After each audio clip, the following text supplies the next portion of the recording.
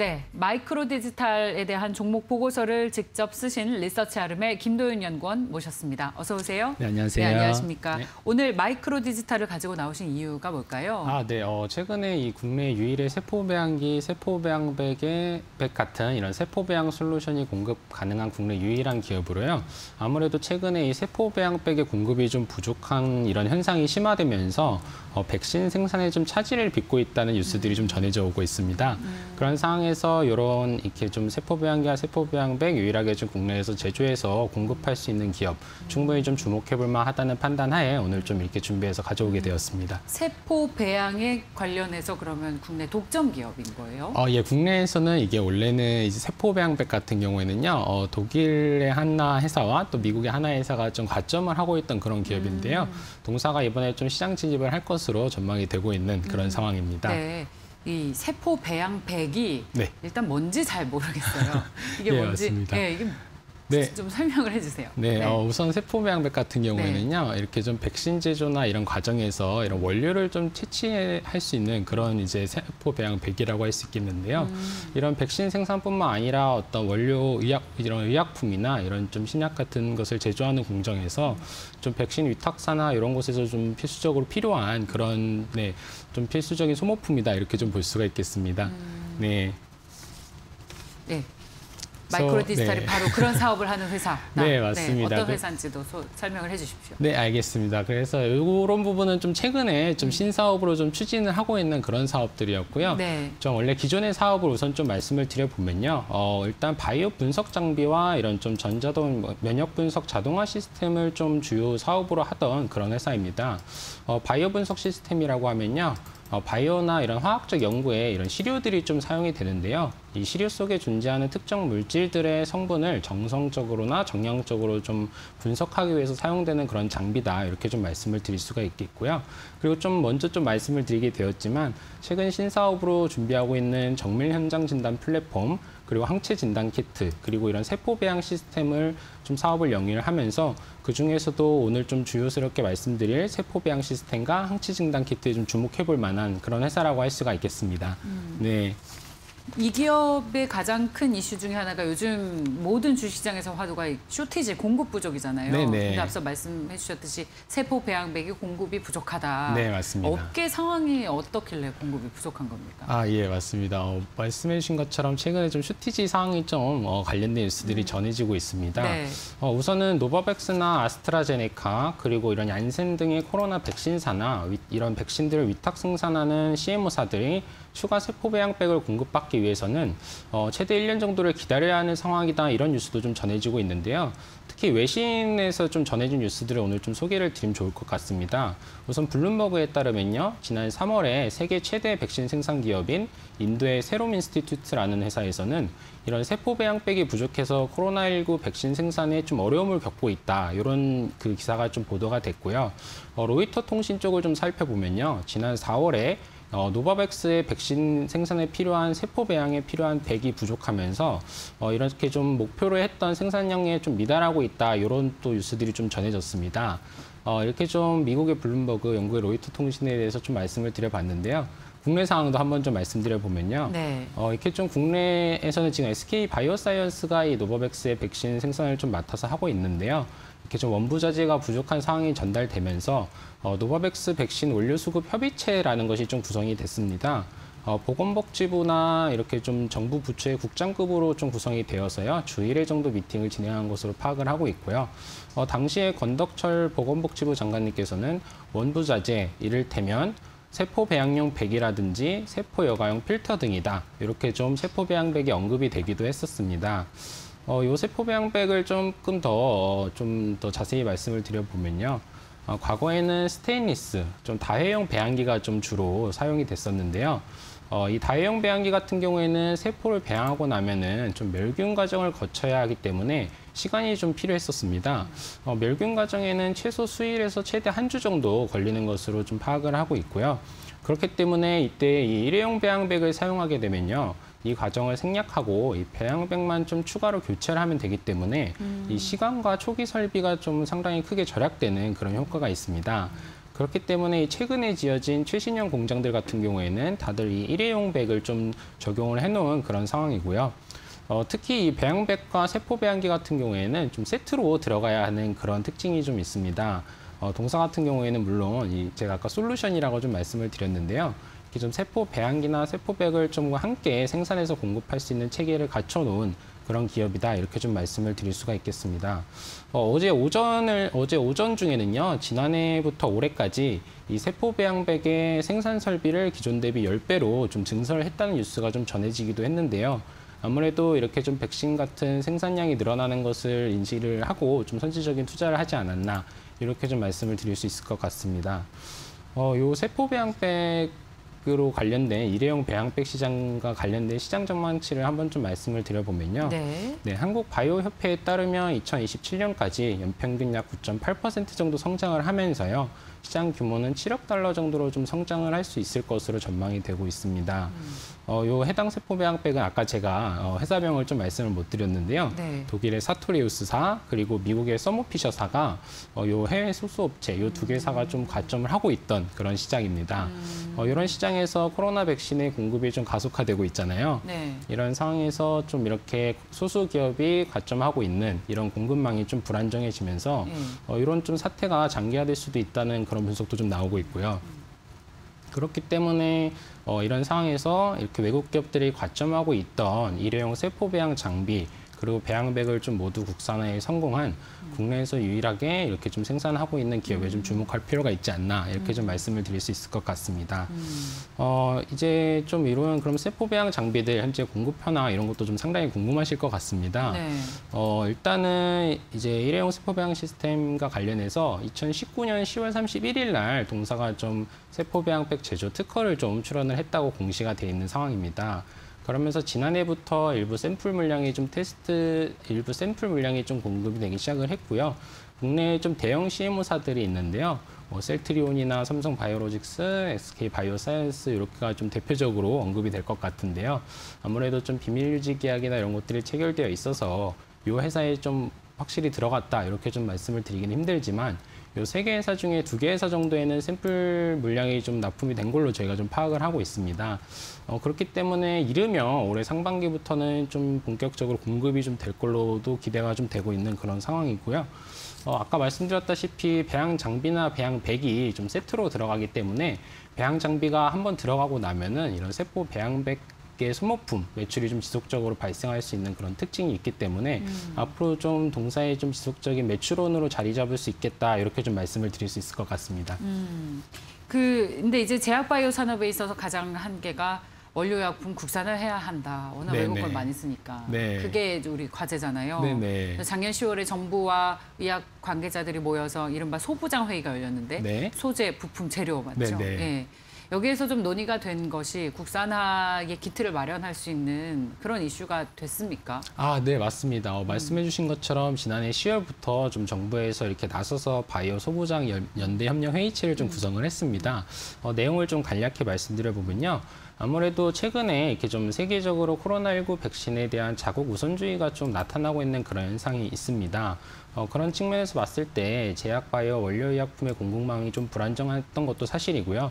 그렇기 때문에 국내 바이오 업체들에서 일부 좀 타격이 있었던 것도 사실입니다. 어, 그렇기 때문에 정부에서는 이런 바이오 분야의 소재 부품 장비의 경쟁력을 끌어올려서 최근 이게 좀 계속 언급하고 있는 K바이오에 관한 그런 이제 위상을 좀 실제로 강화하겠다는 그런 취지에서 이런 협의체를 좀 구성을 했고요. 어, 이 당시에 좀 크게 영향을 받았던 것이 특히나 이 국내 바이오 위탁 생산, CMO 업계에 좀 큰 영향을 미쳤었는데요. 아무래도 말씀해 주신 것처럼 국내 생산 완제의약품과 원료의약품의 국산화율이 20%가 채 안 된다고 합니다. 그렇기 때문에 중국이나 인도 그리고 미국에서 주로 수입을 하는데요. 어, 이렇게 지난해에는 특히 중국과 인도의 코로나19로 셧다운 상황이 좀 많이 발생을 했었잖아요. 네. 그러면서 좀 수급적인 부분에서 좀 어, 불안정했던 부분들이 있었고요. 올해 상반기 같은 경우에는 아까 말씀드렸다시피 좀 백신과 관련한 이 자국 우선주의가 나타나면서 또다시 좀 수급에 좀 어려운 현상이 좀 있는 것도 사실입니다. 어, 특히 미국 같은 경우에는요. 어, 올해 2월에 미국 바이든 행정부가 수출 규제 행정 명령을 좀 내리면서요. 이런 보건의료 자원은 미국에 좀 우선적으로 공급되어야 한다는 내용의 법령을 좀 어, 발행을 하면서 올해 12월 말까지 좀 연장도 된 상태고요. 이런 상황에서 백신 국내 생산분의 원부자재 공급에 좀 차질이 있는 그런 상황에서 당시 이런 좀 협, 열, 어, 연대협력 회의체가 좀 구성이 됐었다 이렇게 좀 말씀을 드릴 수 있을 것 같습니다. 이 연대협력 회의체를 좀 구체적으로 좀 말씀을 드려보면요. 어, 우선 공급 기업에는 42개사가 좀 포함이 됐습니다. 어, 다, 그 해당 42개사의 동사가 물론 좀 포함이 되는 그런 상황이고요. 또 아미코젠이 또 다른 좀 대표적인 공급사로 좀 선정된 회사라고 좀 말씀을 드릴 수가 있겠습니다. 어, 산업통상자원부에 받아서 동사의 좀 구체적인 내용을 말씀드리면요. 일회용 보관백 및 assembly를 좀 개발 중 개발 중이라고 할 수가 있겠습니다. 어, 추후에 좀 수요 기업으로 지정되어 있는 셀트리온이나 삼성 바이오로직스 등 13개사가 있는데요. 이 13개사의 공급 reference를 확보하면서 좀 글로벌 시장으로 나아갈 수 있는 그런 발판으로 삼을 수 있는 배경으로 좀 작용할 수 있는 것이 말씀해 주신 연대협력 회의체, 바이오 소부장 연대협력 회의체다 이렇게 좀 말씀을 드릴 수 있을 것 같습니다.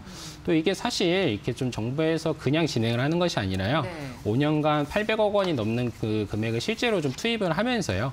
그렇게 좀 어, 예산을 좀 측정을 해서 투입을 하고 있는 상황이기 때문에 네. 상당히 좀 실체가 있는 그런 협의차다 이렇게 좀 말씀을 드릴 수 있겠습니다.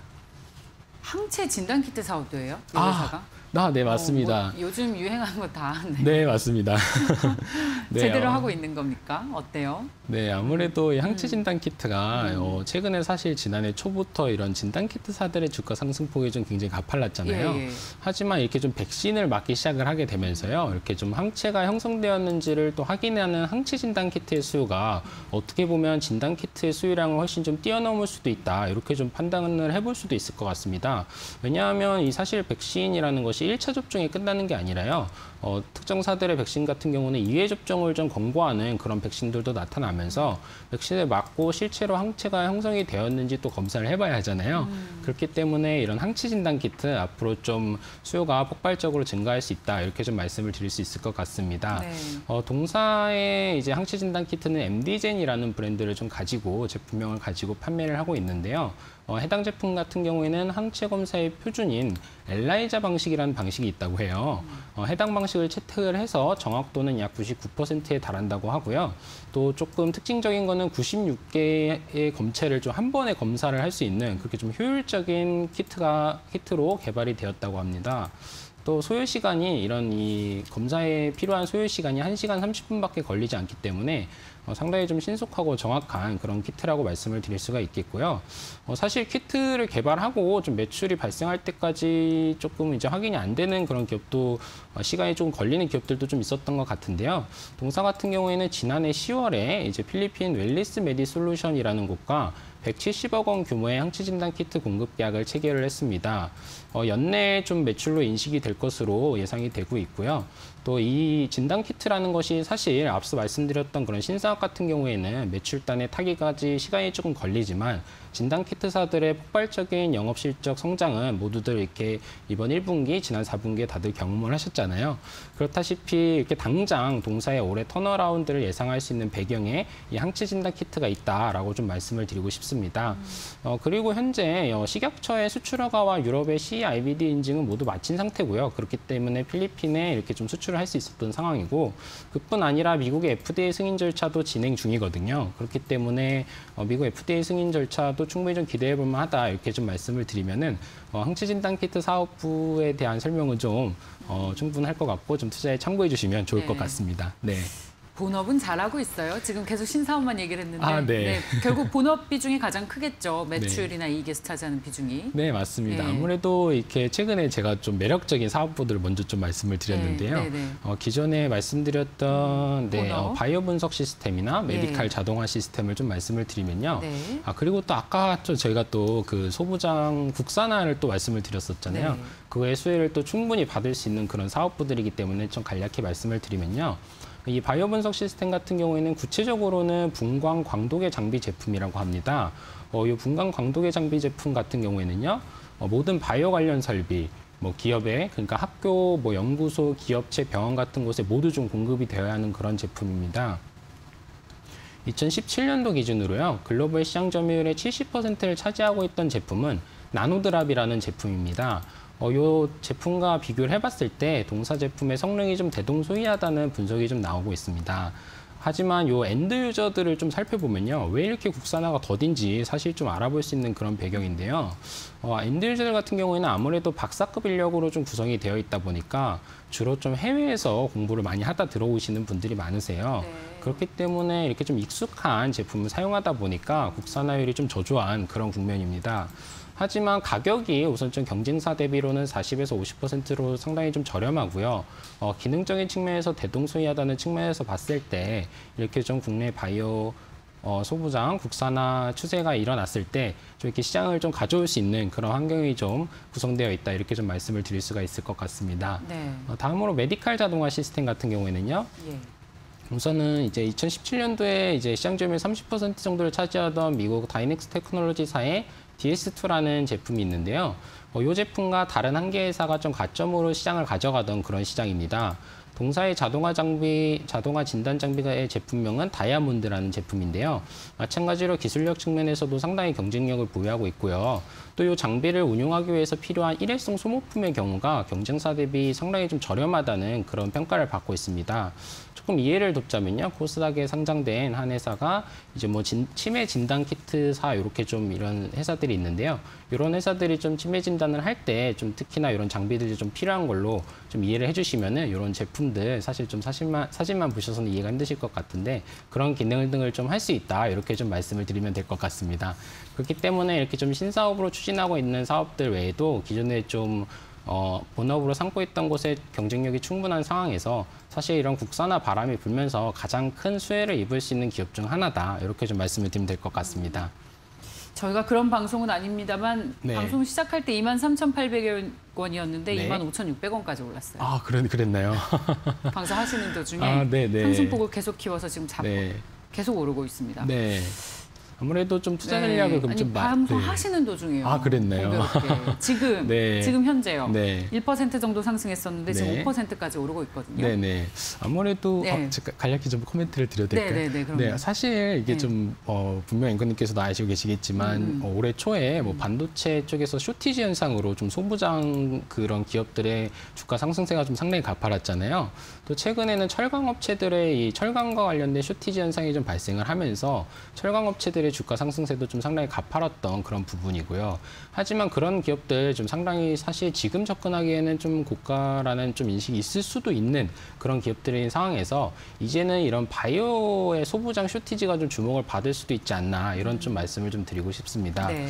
어, 그런 상황에서 봤을 때 어, 좀 기술 특례로 상장을 했지만 예. 이렇게 기술 특례로 상장하면 아무래도 turnaround 시점에 대한 궁금증이 가장들 크시잖아요.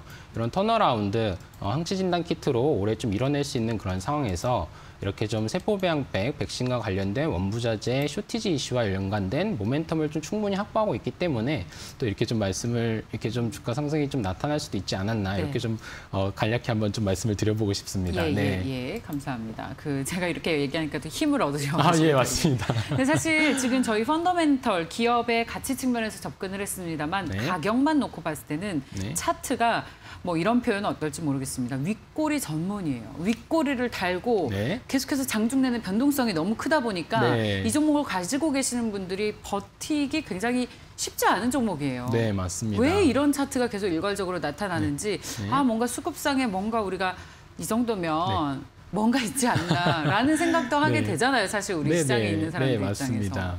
어, 아무래도 저희가 좀 보고서를 이렇게 모멘텀적인 측면에서 발간을 했던 부분도 있지만 네. 어, 이렇게 좀 사실 동사 같은 경우에는 유통 물량 주식 수를 살펴보면요 네. 상당히 좀 적습니다. 적어요. 네, 상장 주식 수가 뭐 720만 주밖에 되지가 않기 때문에요. 사실 이 물량도 어, 지난해나 지, 저, 그 2년 전쯤에 어, 무상증자를 한번 한 그런 이제 물량이거든요. 그렇기 때문에 시중에서 유통되는 물량이 좀 적기 때문에 변동성이 충분히 커질 수는 있는 것도 사실입니다. 또 저희 리서치 센터에서도 처음으로 이제 좀 어, 적정 주가를 제시하지 않은 상황에서 보고서를 발간한 그런 종목이 되겠는데요. 네네. 그만큼 이렇게 peer group 기업들을 봐도 이렇게 적자 기업이 많고 하기 때문에 이런 valuation의 기준점을 잡기는 좀 상당히 어려운 부분이 있습니다. 아무래도 그런 측면에서 주가 변동성이 좀 확대될 수 있는 요인들이 있지 않았나 이렇게 좀 말씀을 드리고 싶고요. 어, 하지만 또 기업 가치라는 것이 이렇게 좀 상장 주식 수나 이런 것들의 영향을 받기도 하지만 네. 그렇기 때문에 이런 단기적인 trading 관점을 적용하시게 되면은 말씀해 주신 것처럼 올랐을 때 사고 갑자기 놀라서 파시게 되고 이런 경우도 또 있으시잖아요. 네. 그러시지 않기 위해서는 아무래도 이렇게 좀 저희 리서치 센터에서 지향하는 바처럼 장기적인 관점으로 접근을 해 주시는 게 좀 어떻게 보면 저희도 감사할 수 있는 부분이라고 좀 말씀을 드리고 싶습니다. 네. 알겠습니다. 네. 자, 마이크로 디지털에 대해서 살펴봤습니다. 보고서를 쓰신 리서치 아름의 김도윤 연구원과 함께했습니다. 고맙습니다, 연구원님. 감사합니다.